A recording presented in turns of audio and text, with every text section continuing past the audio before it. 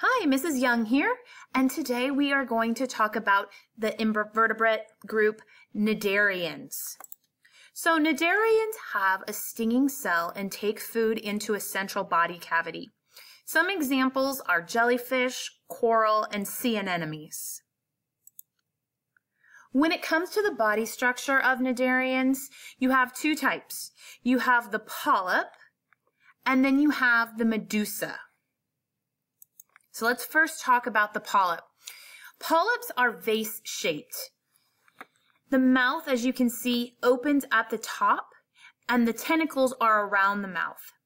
Most of these are adapted to being attached to an underwater surface like a rock. Normally, these reproduce asexually, and the way that it works is that a part of the animal starts to grow on the side and then pops off and that's called budding. So examples of polyp-shaped cnidarians are sea anemones, coral, and hydra.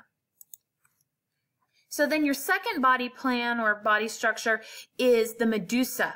These are bowl shaped. As you can see up here, it's rounded, looks like an upside down bowl. The mouth opens downward and the tentacles trail down. These are more adapted for swimming. So normally medusas reproduce sexually. So an example would be like a jellyfish.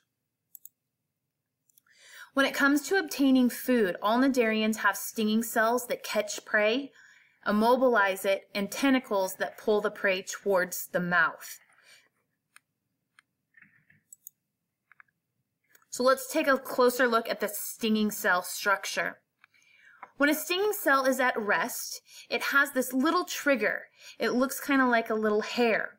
And what happens is that hair will brush up against a up against prey and it'll release this long thread-like structure that has tiny spines on it.